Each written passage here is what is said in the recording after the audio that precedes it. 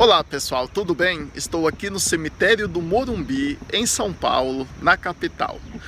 E no vídeo de hoje trago uma homenagem muito especial para Juvenal Juvencio. Juvenal Juvencio, pessoal, era presidente do São Paulo Futebol Clube. E ele era um dirigente muito conhecido. Ele que gerava várias polêmicas, mas boas polêmicas para a mídia, para quem gostava de futebol, independente do time que torce. Juvenal Juvencio, um dos mais conhecidos. E também, além de dirigente, ele era advogado, um homem conhecedor das leis que não pode ficar de fora das nossas homenagens. Ele, pessoal, era rígido e sempre falava que quando o time perdia, alguém tinha que pagar por aquilo ele sempre mandava alguém embora ou deixava de banco, de castigo. Mas também ele era um presidente muito querido, tanto que ele e vários jogadores alegam que quando ele entrava em campo, ele sempre oferecia o bicho. O bicho é aquele dinheirinho que os jogadores ganham a mais pelas vitórias. E quando ele entrava em campo, ele sempre oferecia o dobro para que os jogadores se dedicassem cada vez mais e ganhassem os jogos. Então, para ele, que marcou a sua história como um dos homens dirigindo uma equipe que mais ganhou títulos no Brasil e que marcou seu nome na história do São Paulo Futebol Clube, é a nossa homenagem no vídeo de hoje. Que essa homenagem se estenda a toda a sua família, a todas as pessoas que admiram o futebol, independente de clube, mas que admira o futebol. Porque o futebol é para ser vivido, é para trazer alegria e arte. E Juvenal Juvencio sabia fazer isso. Vamos lá. Perdemos o primeiro semestre da temporada de 2013. Esse elenco foi feito para ser campeão. E eu imaginava que a temporada de 2013 os ajustes já estavam postos. Não estão. Ainda falta. Ainda falta. Vamos fazer estatística, gente. Eu sou o maior vencedor, dirigente que teve esse clube na história. É só verificar. Mas, mas eu sou o maior vencedor desse processo. A história que indica isso. Não adianta não gostar disso. Arapuca! Não fujo de nada. Deus poupou-me do sentimento do medo. É assim que faz. Vem cá, senta aí. Vai lá, obedece. E a sua culpa nesse processo de eliminação? Você sabe que eu acho que eu não tenho? Eu procuro. Eu procuro. Eu posso sair, né? Já falei o que tinha que falar. Amanhã vocês falam aquelas coisas contra mim, mas não tem importância. Eu sou, eu nasci para sofrer. Obrigado. Estou indo ao local onde ele está sepultado, né, pessoal? Vocês vão perceber que a quadra onde ele está sepultado é bem conhecida. Essa quadra aqui que é a mesma quadra onde está sepultado Senna, né? esse grande ídolo brasileiro, né? que está sepultado ali, o Senna, onde está aquelas faixas amarelas e pretas ali. É ali onde ele está sepultado, né, o Senna. E o Juvenal Juvencio, ele está nessa mesma quadra aqui, né, onde o Senna se encontra. Vou mostrar aqui um pouquinho do cemitério para vocês, ó, para que vocês conheçam o local, né?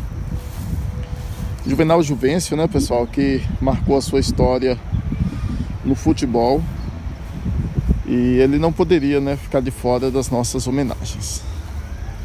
Já estou chegando aqui no local onde ele está sepultado. É essa placa aqui, ó.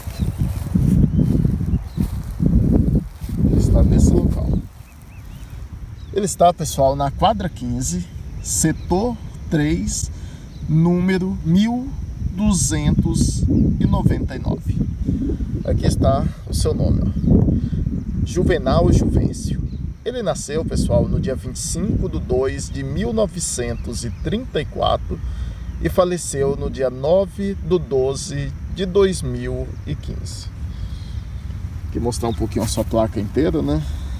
Ele que marcou né, a sua história à frente de uma equipe de futebol, né? E que era muito querido por todos. Independente de time, de fanatismo que as pessoas têm, mas sempre houve um respeito né, pela memória e a história do Juvenal dentro do futebol. Ele nasceu, pessoal, em Santa Rosa do Viterbo. E ele foi um advogado, deputado estadual, investigador de polícia e presidente do São Paulo Futebol Clube, né? Durante a legislatura de 1963 a 1967, assumiu na condição de suplente é, o mandato de deputado estadual. Então aqui a nossa homenagem para ele, né? Esse diligente, né, que marcou a sua história, né, que mesmo com polêmicas ganhou vários títulos no São Paulo e alegrava até as outras torcidas, né, e as outras equipes, tanto que no seu enterro várias pessoas se fizeram presentes.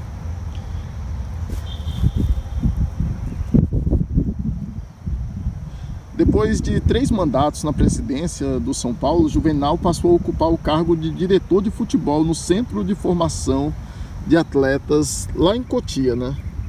Após alguns meses no cargo, foi demitido pelo então presidente Carlos Miguel Aidar, devido ao, a um desentendimento né, que havia entre ambos. Então, aqui mostrando um pouquinho mais do cemitério e trazendo essa homenagem. É, o diligente, pessoal, ele tratava um câncer de próstata havia vários anos, né? Mas a doença é, debilitou bastante sua saúde nos últimos meses antes de sua morte. E em 9 de dezembro de 2015, aos 81 anos de idade, é... ele veio a falecer, né? Seu corpo foi velado no salão social do estádio do Morumbi e sepultado aqui no cemitério do Morumbi. Então essa é a nossa homenagem para o Juvenal Juvencio.